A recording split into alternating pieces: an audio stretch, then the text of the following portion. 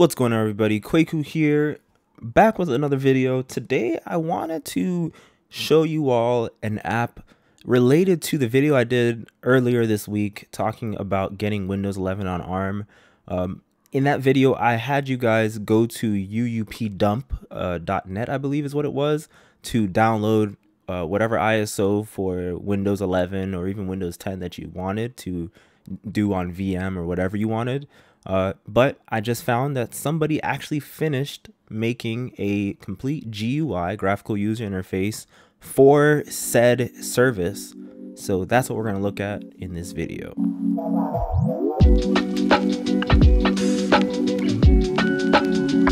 This was apparently uh, made by a person, I hope I'm right, named Gustave Monce or Monque. I don't know how to say it um, and he made the GUI for it. So now let's jump into it. So here it is right here. This is UUP Media Creator. It is. It does say it is by IT Dev Team, but apparently Gustav uh, helped make the GUI for it. This is the GUI of that whole website interface to download it. It is a wizard essentially that guides you to creating it. So you hit next when you install it.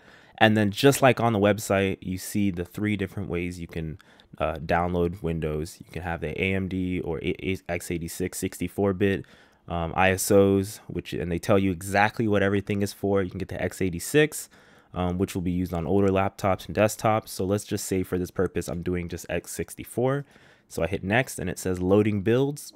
And this just does everything uh, far easier. You don't have to double click any file in your file directory or anything like that. You can just easily just go through the wizard and it does everything for you. And in the end, it brings out the file that you want exactly how it should be. So you can see all of the feature updates and a whole bunch of stuff here.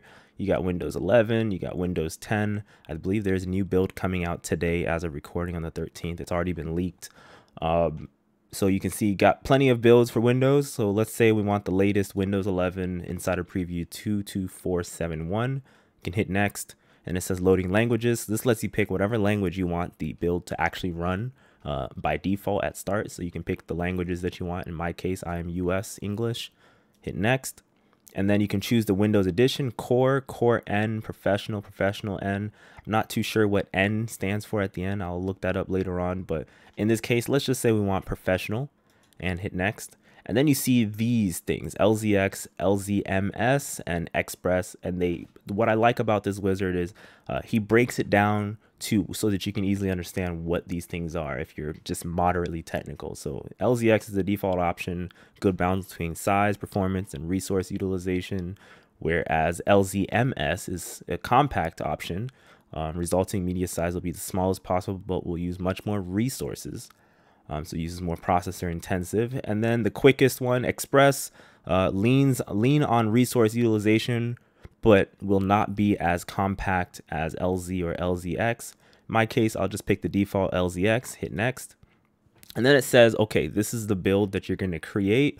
Um, and it's going to come out as an ISO, so you can pretty much mount it to any kind of uh, virtual hard drive type thing. You can mount it to just install on your laptop like normal. You don't need to use virtual machine. Um, so then it tells you where do you want to save it to. So in my case, let's say I want to save it. Uh, I have a builds folder right here and I want to save it and I want to name it and then let's type in win11. So that's going to be my file name and it, will be a disk image file. And then you hit save. And then when you hit save, you see right there, it's taking you through that directory. You hit next and then it compiles the whole thing for you, downloads it, compiles it for you. And this gets it right from Microsoft servers. So it's pretty straightforward. And then once this is done, um, it'll give you a new prompt, which I will jump back into the video when it is done to show you uh, just where the file is, how it looks like, so that you know what to identify in comparison to the video that I made earlier this week. And now that it's done, it tells you here that going back, uh, hitting next will take you back to the beginning where you can do this again, or you can just hit close. So in my opinion, I'm just gonna hit close because I don't need this anymore. Hit close and then locate wherever you chose to save it. In my opinion, if I open up my file explorer, I have a tab here for builds. And by the way, this application that I'm using is the Files app um, that I covered in the past, and I'll make a video on that in the future.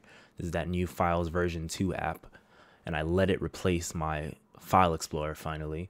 And so here it is. Here's the file right there that I just told you guys how to download and it works for all the files on there.